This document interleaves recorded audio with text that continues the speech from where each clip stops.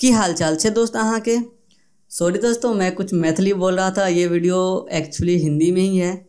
थोड़ी सी मैथिली बोल लेता हूँ। किसी को पसंद है मैथिली तो मुझे कमेंट कर दें। तो चलिए आज का वीडियो आपके लिए बहुत ही इंटरेस्टिंग होने वाली है। क्योंकि इस वीडियो में कुछ नया होने वाला है। जिसे पता है इसके बारे में, वो भी इस वीडियो को देख सकते हैं। जिन्हें नहीं पता है, वो भी इस वीडियो को ज़रूर देखिए। जो मैं बताने वाला हूँ, वो आपको मैं दिखा देता हूँ। मैं आपको बताने क्या वाला हूँ। तो उसके लिए मैं अपना क्रोम ब्राउज़र खोल लेता हूँ अभी। तो मैं अपना क्रोम ब्राउज़र भी खोल लेता हूँ। देखिए, मैं अपना क्रोम ब्राउज़र मैं अपने ओपन कर लिया हूँ। एक अपना ब्लॉग का डैशबोर्ड खोल लेता हूँ। पहले से मैं एक अपना जो वेबसाइट है ब्लॉग का, उसे मैं खोल के रखा हूँ। ये नीचे में आप देखोगे तो यहाँ पे फूटर क्रेडिट दिया हुआ रहता है, जो आप टेम्पलेट यूज़ कर रहे हो। आप चाहते हो उसे हटाना, और आप चाहते हो उसे हटाना, और आप हटाने के बाद क्या होता है कि कभी कभी आपका वेबसाइट ऑन नहीं होता है, आपका वेबसाइट लोड नहीं होता है रिडायरेक्ट हो जाता है किसी और वेबसाइट में। तो उस सब टेंशन से छुटकारा पाने के लिए ये वीडियो मैं आपको बताने वाला हूँ। तो चलिए दोस्तों, शुरू करते हैं बिना बकवास किए हुए। तो सबसे पहले अपना ब्लॉग को खोल लेना है, ब्लॉग के डैशबोर्ड में आपको चले जाना है। उसके बाद आपको क्या करना है, यहाँ पे आना है आपको थीम पे मैं थीम पे आने के बाद आपको सीधे आपको एडिट पे क्लिक करना है। तो इस विषय में मैंने एक पोस्ट भी लिख के रखा हूँ, मैं आपको बता देता हूँ क्या चीज़ मैंने लिखा है। वो पोस्ट मैं यहाँ पे ओपन कर लेता हूँ साइड में। तो आप देख सकते हो, मैंने एक पोस्ट को ओपन कर लिया हूँ। किसी भी टेम्पलेट का फुटर जो होता है, वो आप रिमूव करना सीख जाओगे। भी बड़ी ही आसानी से आपको सबसे पहले दो काम करना होता है। जैसे मैंने यहाँ पे बता के रखा है, वो दो काम आपको करना होता है। एक आपको ये वाली ऑप्शन को एडिट करना होता है। चलिए मैं आपको वीडियो ही बना रहा हूँ तो मैं डिटेल में आपको बता देता हूँ। तो ये वाली ऑप्शन को मैं यहाँ पे आना है, इसे मैं यहाँ से कॉपी कर लेता हूँ अभी। कंट्रोल सी से कॉपी कर लेता हूँ। और मैं अपना ब्लॉग के डैशबोर्ड में आता हूँ और यहाँ पे कहीं भी क्लिक करके कंट्रोल एफ़ दबाता हूँ। उसके बाद उसे मैं यहाँ पे पेस्ट कर देता हूँ कंट्रोल वी के साथ। ये है, दोस्तों, ये जो है सी डेटा को डिटेक्ट करता है। क्योंकि सी डेटा क्या होता है? जो सी डेटा के बारे में ब्लॉग में लिख चुका हूँ, थोड़ी बहुत जो मुझे पता था इसके बारे में, वो आप पढ़ सकते हो। मैं अभी तो यहाँ पे सी डेटा मैंने से यहाँ पे क्लिक किया हूँ तो देख सकते हो यहाँ पे सी डेटा एक जगह यहाँ पे दिख चुकी है। जहाँ जहाँ पे सी डेटा होगा, आपको वहाँ वहाँ दिख जाएगा। तो मैं सिंपली यहाँ पे दो तीन बार क्लिक किया तो नीचे फूटर में देखिए कुछ इस तरह का लिखा हुआ आ जाएगा। आप अलग थीम यूज़ कर रहे हो तो आपको कुछ ज़्यादा दिखाई देगा, कुछ कम होगा। मेरे विषय में ये देखिए, बहुत थोड़ा सा ही है। आपके विषय में कुछ ज़्यादा हो सकता है, लेकिन काम है सेम ही है। आपको जिस तरह मैं आपको बता रहा हूँ, आप उसी तरह कीजिए। तो आप दोस्तों, यहाँ पे आप देख सकते हो सी डाटा यहाँ पे लिखा हुआ है।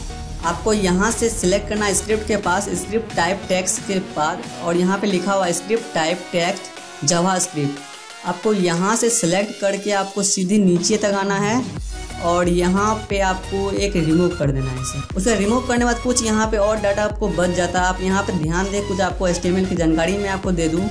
यहाँ पे रेड रेट लिखा हुआ है। बड़ी भी रेड हो गया स्क्रिप्ट भी रेड हो गया एस भी रेड होगा। तो आपका जो थीम है ना, वो आपका सेव नहीं होगा। आपको इससे भी आपको हटा लेनी है। मैं यहाँ पे सिलेक्ट करके यहाँ स्क्रिप्ट लगाता हूँ और इससे मैं करता हूँ रिमूव तो आप देखिए, ये बॉडी वाला जो ऑप्शन है और एस वाला ऑप्शन है, वो ग्रीन हो गया। यानी कि अब जो ये पूरा जो सी डाटा था, वो रिमूव हो चुका है। आपके विषय में एक दो जगह होगा, उसको आप एडिट कर लीजिए अपनी तरह से। और जो मैं टेम्पलेट यूज़ कर रहा हूँ, मैं आपको डिस्क्रिप्शन में दे दूँगा। पे मैंने ब्लॉग भी लिखा है, आप वहाँ से आप देख सकते हो। उसके बाद आपको क्या करनी है, मैं आपको बता देता हूँ। फिर से मैं अपना पोस्ट खोल लेता हूँ अपना। उसके बाद यहाँ पे स्टाइल विजुअल करना आपको। जो स्टाइल है, वो आपको विजुअल करना और हाइड करना है। तो हाइड करना भी थोड़ा सा इसमें मुश्किल है, मैं आपको बता देता हूँ। आपको किस टाइप से करना है। तो यहाँ पे देखिए आपको बताया गया है, आपको सर्च यहाँ पे अगर आपका जो फूटर का ऑप्शन आपको ना दिखे तो ये वाला ऑप्शन को यहाँ से कॉपी करना है और अपना ब्लॉग में जाना है कंट्रोल ऐप यहाँ तो क्लिक है पहले से। यहाँ पे मैं कंट्रोल भी करता हूँ और एंटर दबाता हूँ तो ये देखिए यहाँ पे शो कर दिया है, इस जगह है आपका। शो ना करे तो आप इस तरह से कीजिए, आपको मिल जाएगा डायरेक्ट ही मेरे विषय में यहाँ पहले से ही मिल चुका है, मैं इसे कर लूँगा अब एडिट अब एडिट करने का भी थोड़ा ट्रिक है, वो भी मैं आपको बता देता हूँ। तो यहाँ पे देखिए, यहाँ पे लिखा हुआ है दोस्तों कि आईडी आईडी के बाद जितना भी वर्ड होता है, उसके बाद आपको ये लगाना है। तो मैं अपना आईडी खोल लेता हूँ। आईडी किस जगह लिखा हुआ है? यहाँ पे देखिए, मेरा आईडी तो मेरा इस विषय में कहीं पे आईडी यहाँ पे नहीं लिखा हुआ है। आपके विषय में यहाँ पे कहीं बीच में आईडी लिखा हुआ रहेगा। तो यहाँ पे देखिए, इस आईडी के यहाँ पे लिखा हुआ है। इस आईडी को अगर आप रिमूव कर देते हो ना तो आपका जो वेबसाइट है या ब्लॉग है वो खुलेगा ही नहीं। आपको इसे रिमूव नहीं करना है, इसे हाइड करना है। तब आपका इसमें जो ये आपका जो स्क्रिप्ट है इसके अंदर इंस्टॉल वो उसमें आपका जो आईडी है वो रिमूव नहीं होगा तो आपका वेबसाइट चलता रहेगा। इसे रिमूव नहीं करनी है। तो अब रिमूव नहीं करनी है तो हाइड का ऑप्शन कहाँ पे डालूँ?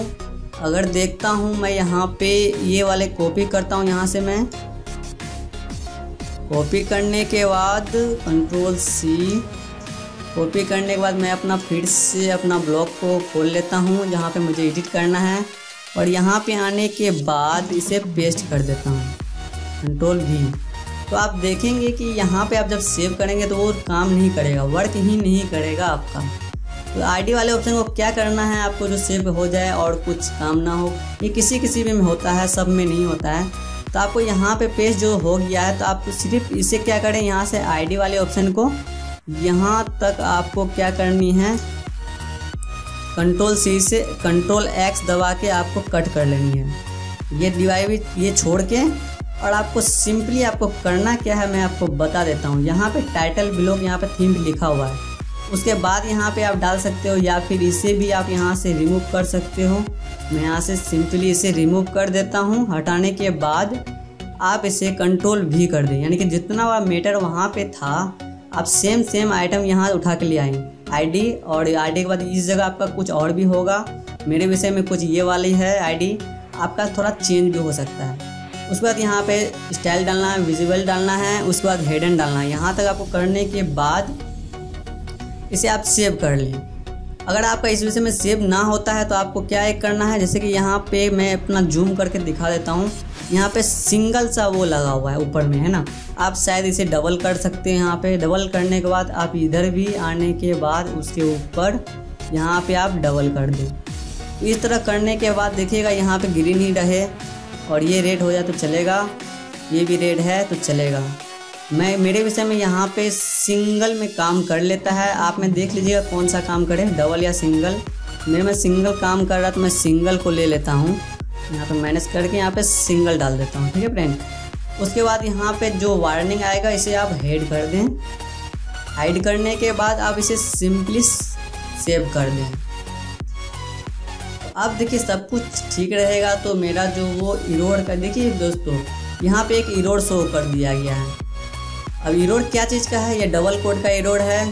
तो मुझे मांग रहा है इसमें डबल कोड मैंने बोला था ना किसी किसी में सिंगल कोड से काम करता है किसी किसी में डबल कोड से। तो मेरे में अब यहाँ पर डबल कोड आपको डालना होगा। मैं यहाँ पे मैनेज करता हूँ, यहाँ पे डबल कोड डाल देता हूँ। और यहाँ पे भी आने के बाद इसे डबल कोड कर देता हूँ। आपको थोड़ा सा दिखे, मैं इसे स्पेस डाल देता हूँ स्टाइल के आगे। ये करने के बाद फिर से हाइड नोटिफिकेशन पे कर दें, उसके बाद फिर से सेव कर दें। तो अब देखिए, लगता है कि मेरा सेव हो चुका है कोई भी एरर शो नहीं हुआ है। हाँ सेव हो चुका है। सेव होने के बाद जो अपना ब्लॉग है, उसे आप ओपन करें। ये ओपन हो चुका है। अब नीचे आता हूँ। तो देखिए दोस्तों, यहाँ पे जो उसका ऑप्शन था, वो यहाँ से रिमूव हो चुका ठीक है फ्रेंड अब यहाँ पे आप जो मर्ज़ी वो लिख सकते हैं यहाँ पे। वो आपकी मर्ज़ी है क्या क्या लिखें। ये वाला कोड है, इसको भी मैं यहाँ से रिमूव कर सकता हूँ, जैसे यहाँ पे फिर से आने के बाद। यहाँ पे देखिए, इस जगह ये वाली ऑप्शन था। इसको मैं यहाँ से रिमूव कर देता हूँ। और जब देखेंगे यहाँ पे ए बराबर यहाँ पे डी लिखा हुआ इसे भी आप यहाँ से रिमूव कर सकते हो। इस जगह से जो पहले बच चुका था, उसके यहाँ से रिमूव कर देता कोई दिक्कत नहीं होगी उसके लिए। यहाँ पे देखिए, मैं यहाँ पे इसका नाम भी, यहाँ पे यूआरएल भी यहाँ चेंज कर सकता हूँ, क्योंकि ये विजिबल नहीं है, ये नहीं दिखेगा। आप यहाँ छोड़ दे सकते हैं। उसके आगे इसे भी रिमूव करना चाहते हैं तो वो भी रिमूव कर सकते हैं। अब यहाँ पे जो भी आप टाइप करेंगे, वो वहाँ पे लगते जाएगा। जैसे कि मैं यहाँ पे ये लिखा हुआ बाई लिखा हुआ है। यहाँ पे मैं अपना नाम लिख दूँ। तो चलिए, मैं अपना नाम लिखता हूँ। S U R A J T C H B C Suraj T B C मैंने यहाँ पे लिख दिया।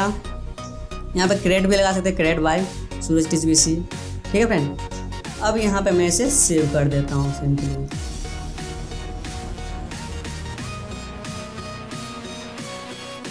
और यहाँ बिलोवर टेम्पलेट जो है, ये सब तो नहीं दिखेगा।